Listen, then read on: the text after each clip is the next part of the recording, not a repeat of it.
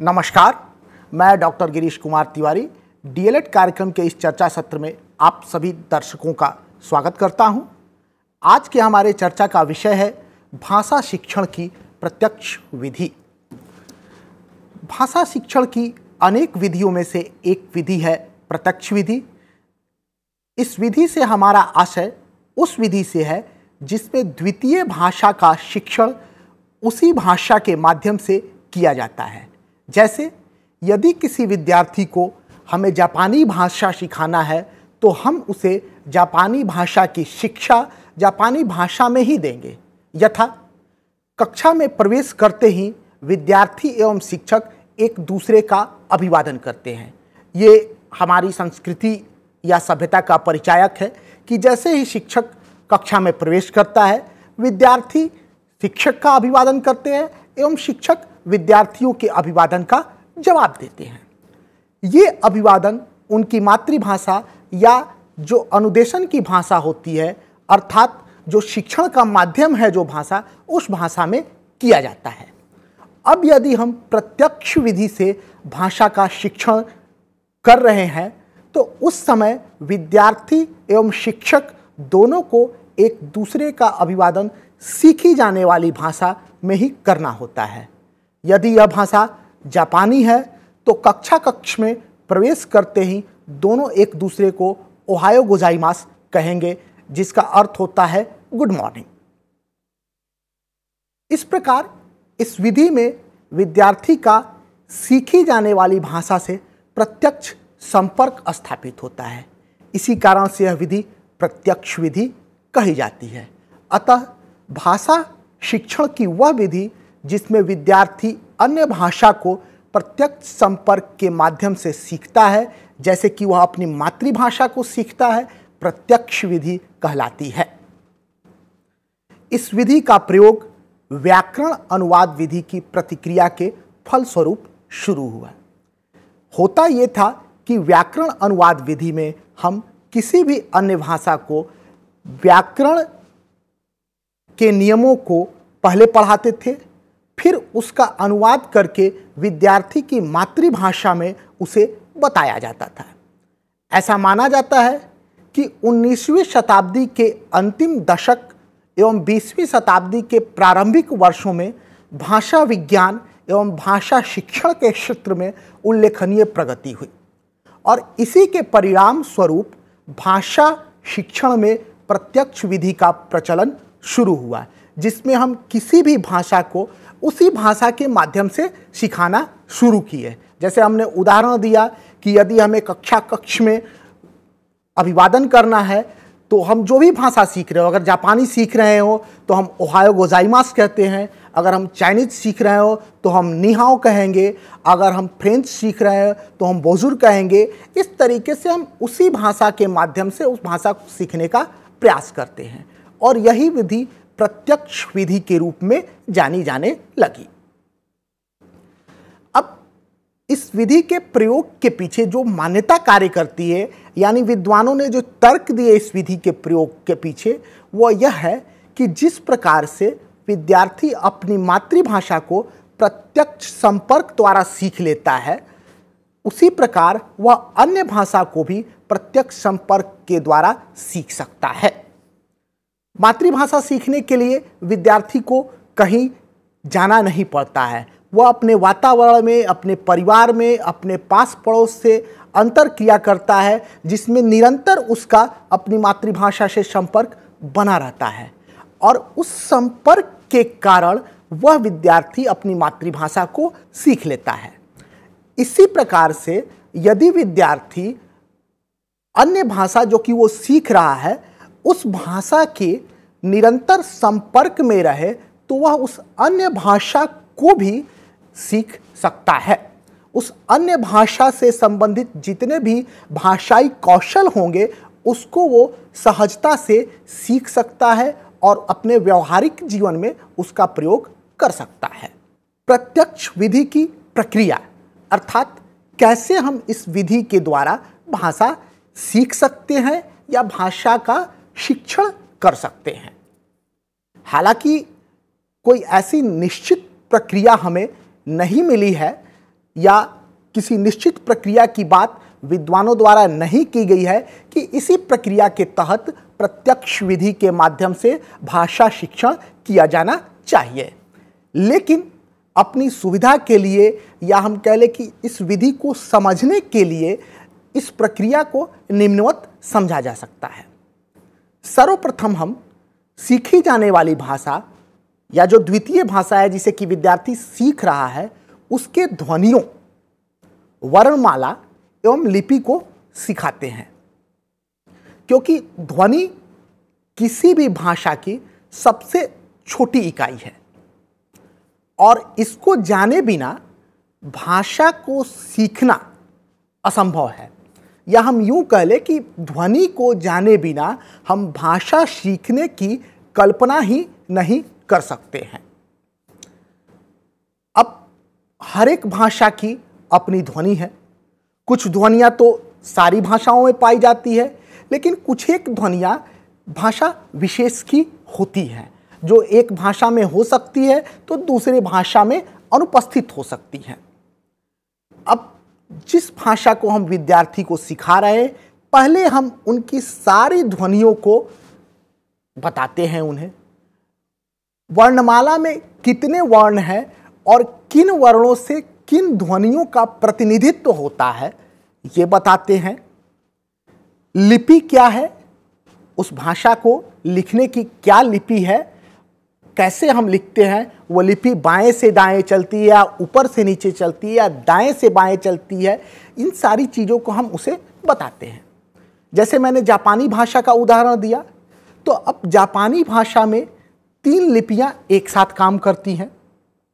यानी अगर हमें जापानी भाषा में किसी वाक्य को लिखना है तो हमें उस भाषा की तीनों लिपियों का ज्ञान होना चाहिए। क्यों? क्योंकि जो शब्द जापानी भाषा के मूल शब्द हैं, उनको लिखने के लिए एक लिपि है।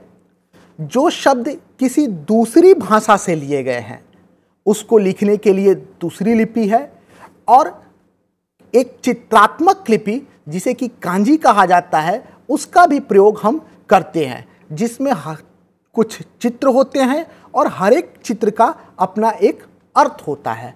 तो उस अर्थ का प्रतिनिधित्व करने के लिए हम उस चित्र को उसमें शामिल करते हैं। इस प्रकार से हम एक साथ तीन लिपियों को लेकर, जो क्रमशः हीरा गाना काताकाना और कांजी है, इन तीन लिपियों को लेकर हम एक साथ चलते हैं।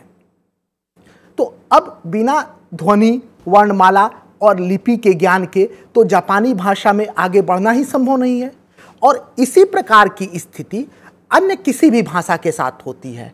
हम अंग्रेज़ी को ही ले लें तो अगर हमें अंग्रेज़ी वर्णमाला के वर्णों का ज्ञान नहीं है, उसकी ध्वनियों का ज्ञान नहीं है, किस ध्वनि को हम किस वर्ण के माध्यम से बताते हैं इसका ज्ञान नहीं है तो हम अंग्रेज़ी भाषा नहीं सीख सकते हैं। इसके पश्चात विभिन्न वस्तुओं और कार्यों के संदर्भ में शब्दों, वाक्यांशों एवं वाक्यों का प्रयोग सिखाया जाता है। अर्थात किस वस्तु के लिए या किस कार्य के लिए कौन से शब्द का या कौन से वाक्यांश का या किस वाक्य का हम प्रयोग करेंगे, ये इस विधि द्वारा भाषा शिक्षण के दूसरा सोपान या दूसरा पड़ाव होता है। इसके बाद किसी विशेष परिस्थिति पर आधारित मौखिक वार्तालाप कराया जाता है। अर्थात जब हम ध्वनियों वर्णमाला, लिपि, शब्द, वाक्यांश, वाक्य आदि का ज्ञान प्रदान कर देते हैं, तब हम विद्यार्थी को मौखिक अभिव्यक्ति करना सिखाते हैं। अर्थात उसे हम बोलना सिखाते हैं और उसके लिए हम एक कृत्रिम परिस्थिति विद्यार्थी को देते हैं। जैसे अगर आप रेलवे काउंटर पर गए टिकट बुक कराने के लिए और आपके सामने रेलवे क्लर्क, बुकिंग क्लर्क है और आप काउंटर पर है तो जो आप दोनों के बीच में बातचीत होगी, उसमें आप कैसे बात करेंगे, क्या बात करेंगे, या प्रिंसिपल के ऑफ़िस में आपको किसी बात की सूचना देनी है, आप स्टूडेंट हैं और आपके सामने आपके प्रिंसिपल बैठे हुए हैं, प्रधानाचार्य बैठे हुए हैं तो आप कैसे बात करेंगे, इन सारी कृत्रिम परिस्थितियों पर आधारित मौखिक वार्तालाप कराया जाता है। विभिन्न परिस्थितियों में भाषा का मौखिक रूप से व्यवहार करना सिखाने के लिए हम प्रत्यक्ष वस्तुओं के चित्र तथा चित्र श्रृंखलाओं का भी प्रयोग कर सकते हैं या प्रयोग किया जाता है। जैसे हमें उस भाषा के किसी शब्द का बत, को बताना है जो वर्ब है अर्थात जो क्रिया है किसी काम के होने को बताती है। जैसे जापानी भाषा में टू वर्क के लिए होता है हाथाराकी मास। अब अगर हमें यह बताना है कि हाथाराकी मास मीन्स टू वर्क तो हम एक छोटा सा पोस्टर बनाकर किसी व्यक्ति को काम करते हुए दिखा सकते हैं और वहाँ ऊपर लिख सकते हैं हाथाराकी मास। अर्थात हाथाराकी मास मीन्स टू वर्क तो वो चित्र विद्यार्थी अपने मस्तिष्क में संजो लेता है कि काम करने के लिए हमें इस शब्द का प्रयोग करना है या इस शब्द के माध्यम से हम ये बता सकते हैं कि काम करना होता है। ऐसे ही हम अन्य शब्दों के लिए भी या अन्य परिस्थितियों के लिए भी चार्ट बना सकते हैं, हम पोस्टर्स बना सकते हैं, हम चित्र बना सकते हैं और विद्यार्थियों को दिखा सकते हैं ताकि विद्यार्थी उसको अपने मस्तिष्क में संजो ले। प्रारंभ में विद्यार्थी अध्यापक द्वारा प्रयुक्त वाक्यों का अनुकरण करता है।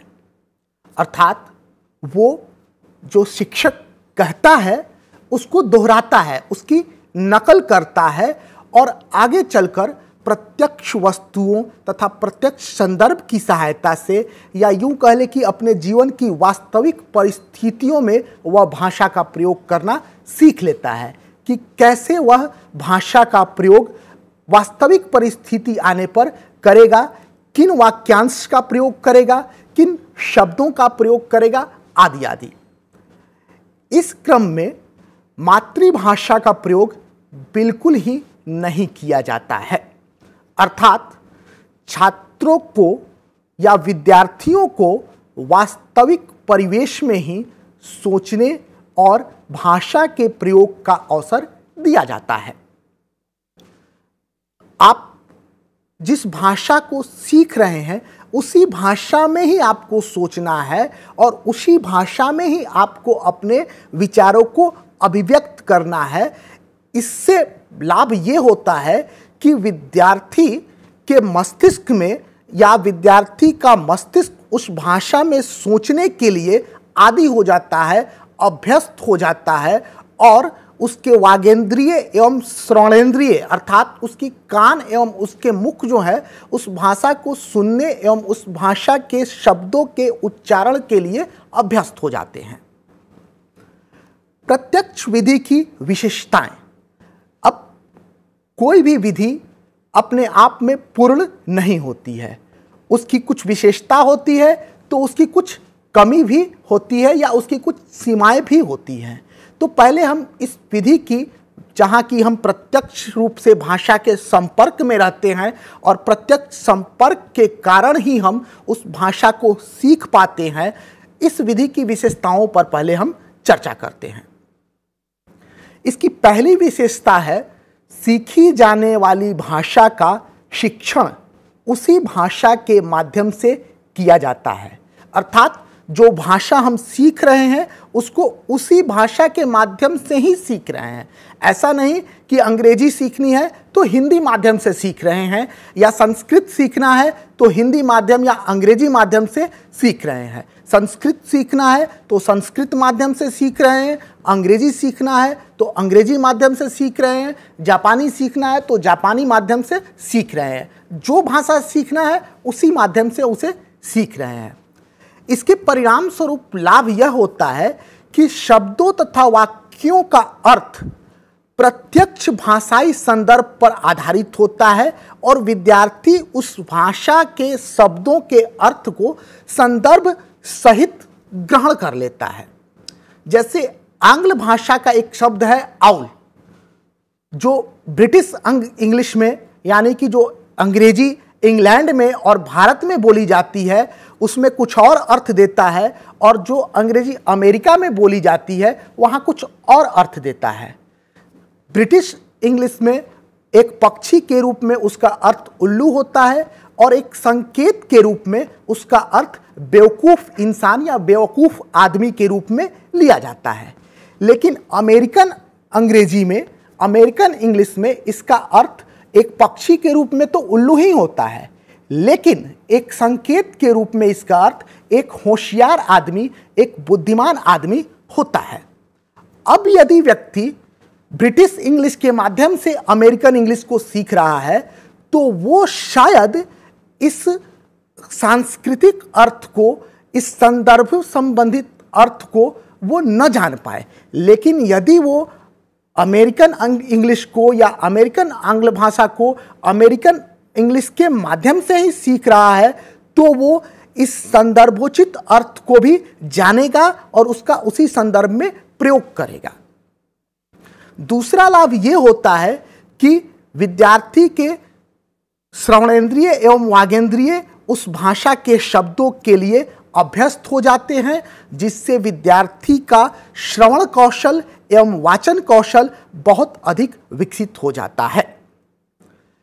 इस विधि की दूसरी विशेषता यह है कि यह व्याकरणिक नियमों को कंठस्थ करने तथा अनुवाद पर बल देकर भाषा अधिगम को नीरस नहीं बनाता है। यहाँ पर रटने जैसी कोई बात नहीं होती है जिससे कि नीरसता हावी हो जाए। भाषा के साथ विद्यार्थी का प्रत्यक्ष संपर्क होता है अर्थात विद्यार्थी उस भाषा को जीता है और उस संपर्क तथा व्यवहार से ही भाषा के प्रयोग की कुशलता उस विद्यार्थी में उत्पन्न हो जाती है। और जब एक बार उस भाषा की समझ विद्यार्थी के मस्तिष्क में हो जाती है, विद्यार्थी उस भाषा की संरचना को समझ लेता है तो स्वतः ही उस भाषा के व्याकरण को समझने लगता है। इस विधि में सीखी जाने वाली भाषा का वास्तविक प्रयोग किया जाता है। इस प्रकार विद्यार्थी संदर्भ के अनुसार शब्दों का प्रयोग करना सीख जाते हैं और उनके अर्थ से परिचित हो जाते हैं। चूँकि प्रत्यक्ष विधि, स्वाभाविक और कृत्रिम दोनों परिवेश में भाषा शिक्षण की योजना प्रस्तुत करती है, अतः इसमें दिन प्रतिदिन के जीवन में प्रयुक्त भाषा एवं वाक्य संरचनाओं के प्रयोग पर विशेष बल दिया जाता है। अक्सर ऐसा होता है कि हमारी व्याकरण परिनिष्ठित भाषा की वाक्य संरचना कुछ और होती है और जो भाषाई संरचना हम अपने व्यवहारिक जीवन में प्रयोग करते हैं, उसकी वाक्य संरचना अलग होती है। इसका एक सामान्य सा उदाहरण है। अक्सर हमने लोगों को यह कहते हुए पाया है कि देखो, लाश जा रही है। अब अगर एक व्यक्ति मृत हो गया, उसका शरीर निष्प्राण हो गया तो कैसे जा सकता है?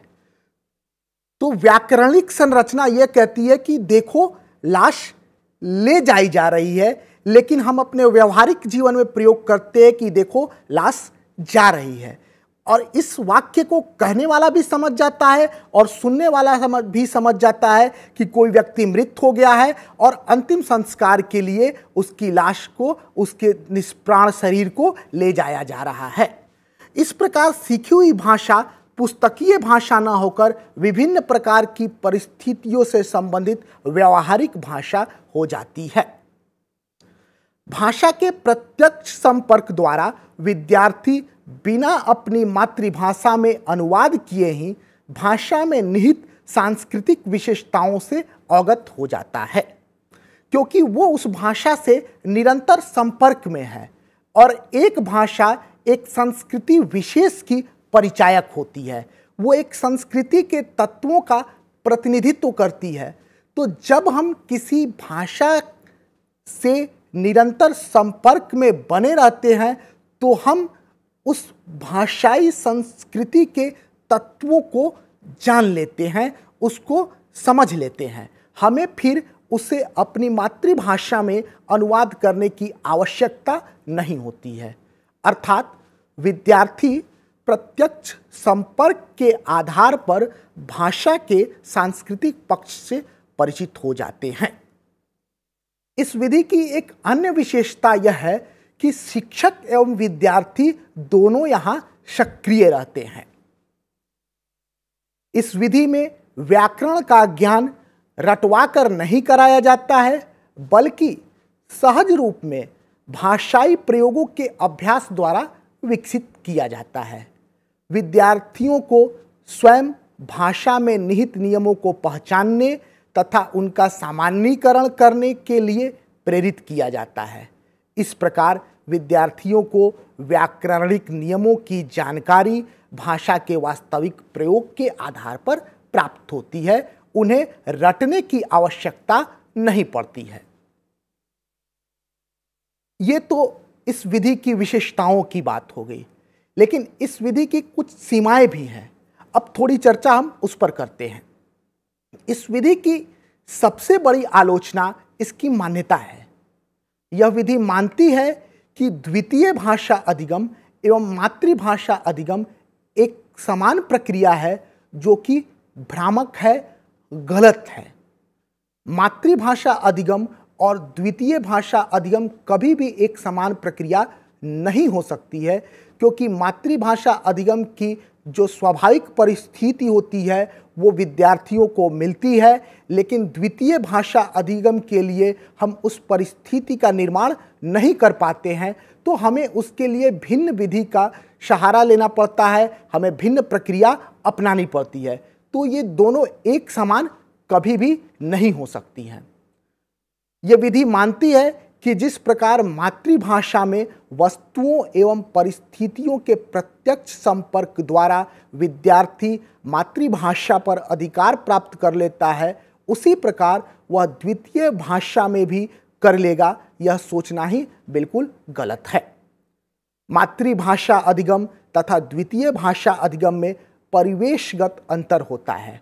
अतः यह मान्यता अंशतः तो सत्य हो सकती है, लेकिन पूर्णतः कदापि नहीं। तो ये मान्यता ही इस विधि की सबसे बड़ी आलोचना या सीमा है। मातृभाषा का निषेध पूर्ण रूप से करने के कारण चूँकि इस विधि में मातृभाषा का प्रयोग बिल्कुल ही नहीं किया जाता है, इसलिए इसका पूर्ण रूपेण निषेध करने के कारण अधिगम में विलंब होता है। क्योंकि प्रारंभ में विद्यार्थी अन्य भाषा को नहीं समझ पाता है। इसके अलावा, यानी विलंब के साथ साथ इसमें विद्यार्थी को बहुत अधिक शक्ति एवं समय व्यय करना पड़ता है। वार्तालाप में एक साथ कई प्रकार की वाक्य संरचनाओं का भी प्रयोग होता है। इससे वाक्य संरचनाओं की आवृत्ति को नियंत्रित करना संभव नहीं हो पाता। फलस्वरूप इस विधि द्वारा विद्यार्थियों को वाक्य संरचनाओं का व्यवस्थित रूप से अभ्यास नहीं कराया जा सकता है, जो कि उनके भाषाई दक्षता के विकास के लिए बाधक है। इस विधि में विद्यार्थियों को व्याकरण के नियमों का स्वयं निर्धारण एवं सामान्यकरण करना पड़ता है।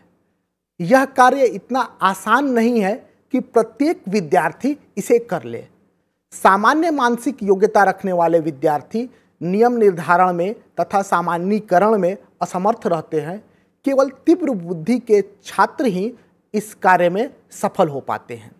अतः यह विधि अधिक उपयोगी नहीं है।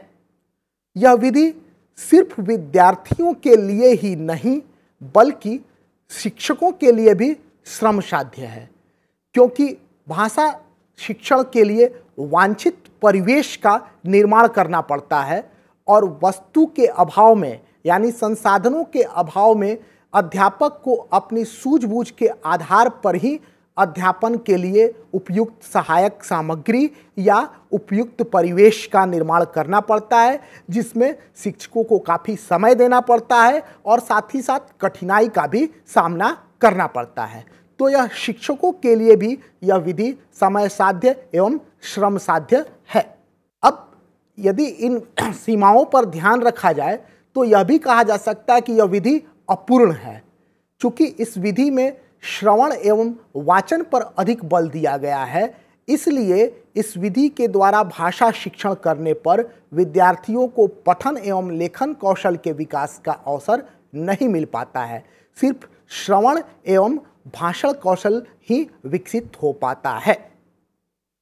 इस प्रकार यह कहा जा सकता है कि यद्यपि भाषा शिक्षण की प्रत्यक्ष विधि, व्याकरण अनुवाद विधि की तुलना में अधिक उपयोगी है, लेकिन यह भी अपने आप में पूर्ण नहीं है। इसकी भी अपनी सीमाएँ हैं। इन सीमाओं के कारण यह विधि बहुत अधिक समय तक प्रचलित नहीं रह सकी और वर्तमान परिदृश्य में भाषा शिक्षण के लिए इस विधि का प्रयोग ना के बराबर हो रहा है।